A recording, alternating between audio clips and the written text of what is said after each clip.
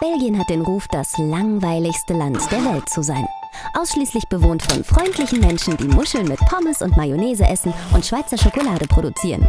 Um eine lange Geschichte mit einigen Schnitten zu verkürzen, was nötig ist, wenn Sie wirklich verstehen wollen, warum die ehemals viertstärkste Weltmacht nun nahe daran ist, in wirklich sehr kleine, beschissene Stückchen zerteilt zu werden, Belgien ist definitiv total und völlig langweilig. Langweilig? Belgien? Wir haben Beweise, dass dies nichts als ein unfaires Vorurteil ist. Nun, Belgien ist das seltsamste Land der Welt.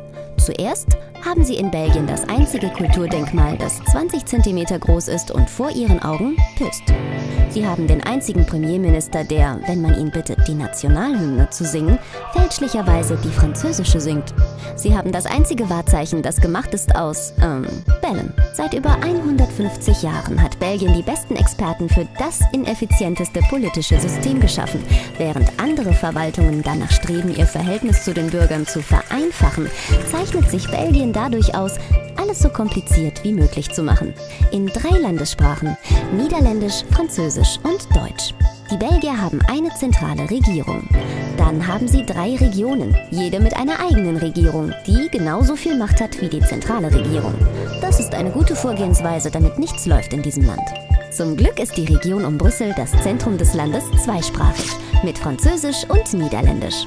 Die flämische Seite spricht Niederländisch, obwohl es auch Verwaltungen für die französischsprachigen Menschen gibt.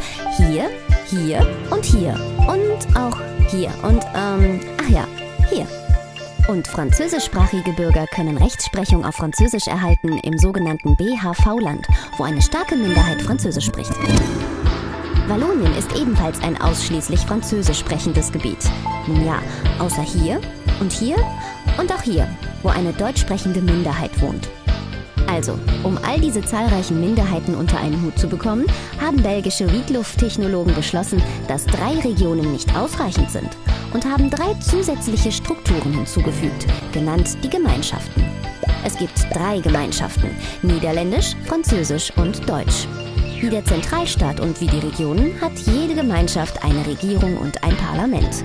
Und im Moment ist es so, dass die französische Gemeinschaft kulturelle und soziale Dienste für die französisch sprechenden Bürger in Wallonien und in Brüssel erbringt. Aber sie erbringt keinerlei Dienste für die 300.000 französisch sprechenden Leute in Flandern, weil Flandern einsprachig ist und anderssprachige Niederländisch sprechen müssen. Gott verdomme.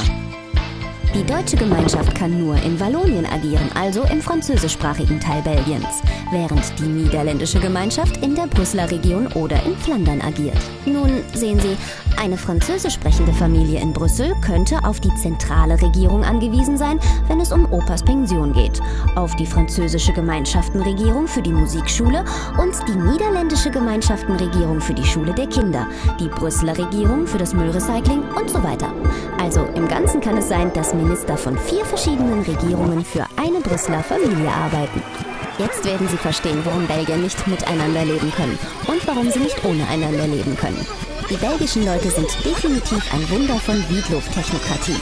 Entworfen, um alle einfachen Dinge katastrophal kompliziert zu machen. Und es funktioniert. Was bedeutet, dass es nicht funktioniert. Überhaupt nicht. Nun, um ehrlich zu sein, eine Sache vereint die unterschiedlichen Gemeinschaften dieses seltsamen, kleinen, ungezogenen Landes. Sie alle sind sich einig, dass ihr Nationalgericht Pommes sind. Pommes mit Mayonnaise. Friten mit Mayonnaise. Frit à la Mayonnaise. Ich vergaß. Herr van Kauenberge ist ein französischsprachiger Politiker und Herr Bourgeois ein niederländisch sprechender Politiker.